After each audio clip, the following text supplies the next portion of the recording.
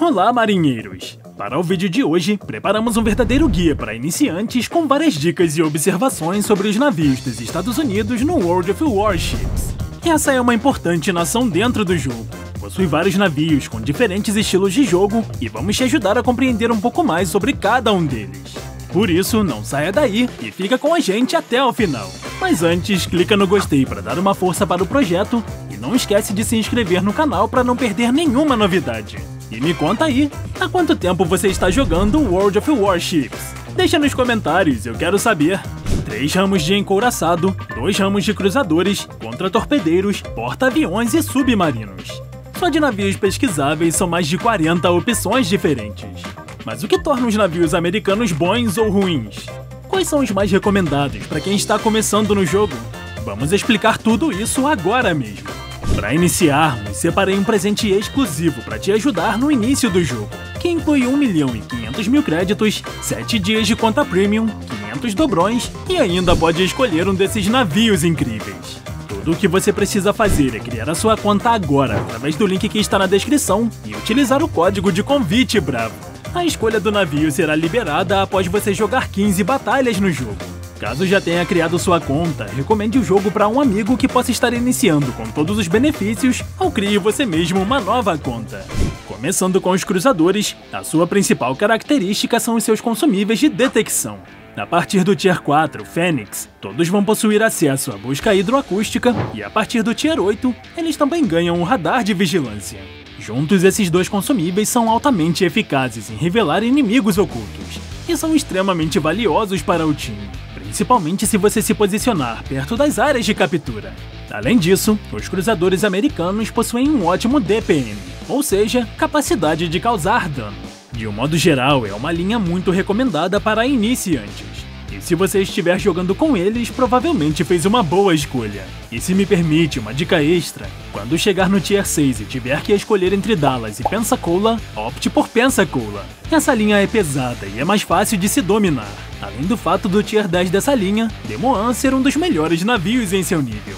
Os grandes e poderosos encouraçados americanos, navios famosos e históricos como a classe Iowa e muitos outros. O estilo de jogo desses navios não é nada complicado. De um modo muito simples e direto, eles não foram feitos para combates a curta distância, então nada de avançar igual doido. Todos os três ramos de encouraçados são feitos para combate de médio a longo alcance. E já que eu mencionei três ramos, deixa eu te ajudar a escolher a correta e o porquê dessa escolha. Você vai perceber que no Tier 7, Colorado, o ramo se divide em três. Seguindo o próprio Colorado, temos o Kansas. Ou cansado, porque ele é devagar. Parece que correu uma maratona inteira. Além de ser lento, é um navio extremamente grande e largo, sendo um ótimo alvo. E isso se repete nos dois navios seguintes, Minnesota e Vermont. Portanto, não é recomendada para quem está começando no jogo. Outra opção, e a mais recente, são os encouraçados híbridos como Nebraska, Delaware e Louisiana. Esses navios trazem como principal característica a disponibilidade de um esquadrão de aviação atuando como um porta-aviões, ao mesmo tempo que possuem canhões de encouraçados. Os navios não são ruins, no máximo feios, mas isso dá para relevar. No entanto, jogar com a aviação pode se mostrar um pouco complicado no início. Nesse caso, recomendo evitar. Então nos resta a linha mais antiga e mais tradicional, com North Carolina, Iowa e o monstruoso Montana. Eu particularmente gosto muito desses navios. Montana é um excelente sniper. Ele vem armado com 12 armas de 403mm com recarga base de 30 segundos. É um ótimo navio para deletar cruzadores e até mesmo encouraçados. Sua precisão é muito boa e é um navio extremamente fácil de se dominar. Por isso, caso você esteja começando no World of Warships e não sabe para qual linha de encouraçados deve direcionar os seus esforços, eu recomendo dar uma olhada no Montana. Outra classe americana que se destaca é a de contra-torpedeiros. E já adianto que no meu ranking pessoal de nações para iniciantes, ela está em segundo lugar. Caso você queira saber, o primeiro lugar é dos contra-torpedeiros japoneses. E eu vou dizer o porquê no próximo vídeo. Mas hoje, como o tema é Estados Unidos, vamos falar deles. A principal característica dos contra-torpedeiros americanos é a sua cortina de fumaça com um longo tempo de dispersão da nuvem.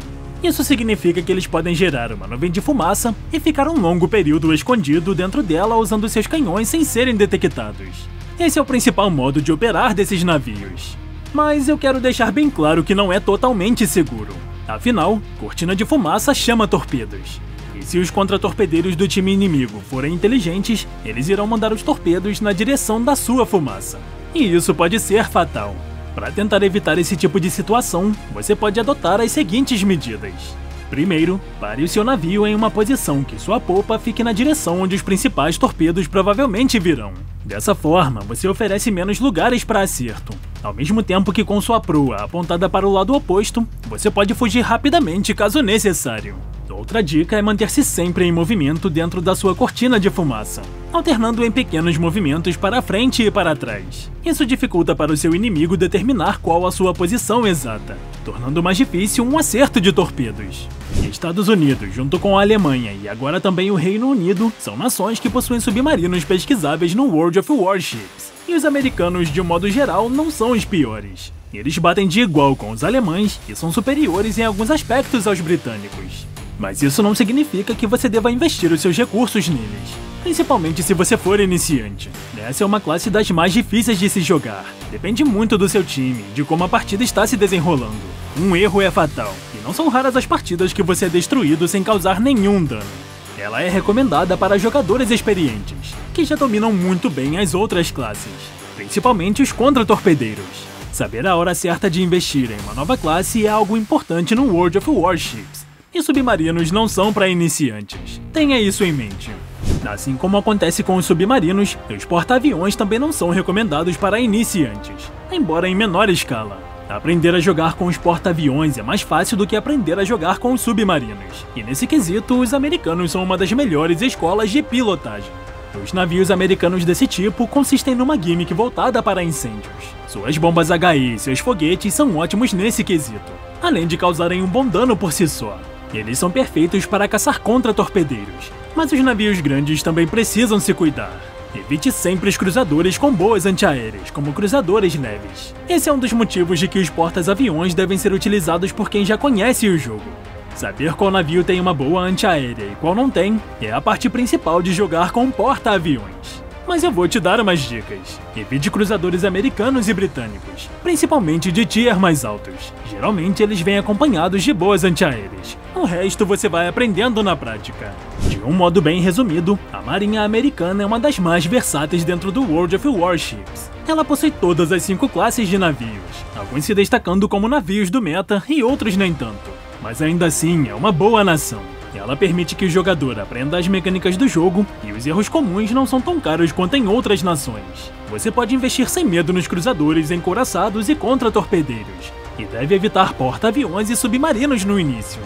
Procure identificar qual a sua classe preferida. Geralmente você se destaca mais com determinado navio do que outro. Quando tiver identificado, invista nessa classe. Provavelmente você colherá bons frutos. Hoje eu fico por aqui e vejo vocês nos mares ou no próximo vídeo. Até mais, marinheiros!